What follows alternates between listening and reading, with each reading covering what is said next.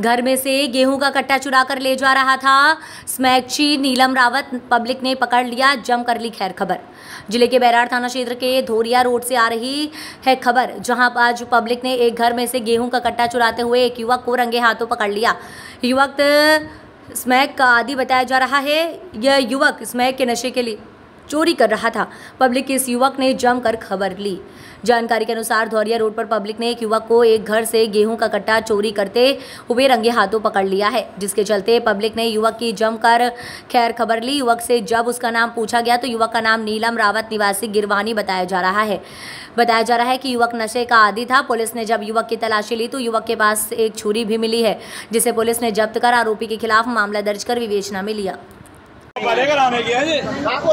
गिरवानी कराओ तो है तेरी।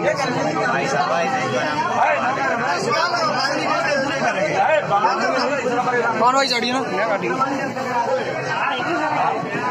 भाई कौन से काम हुआ गिरवानी सब जानते भी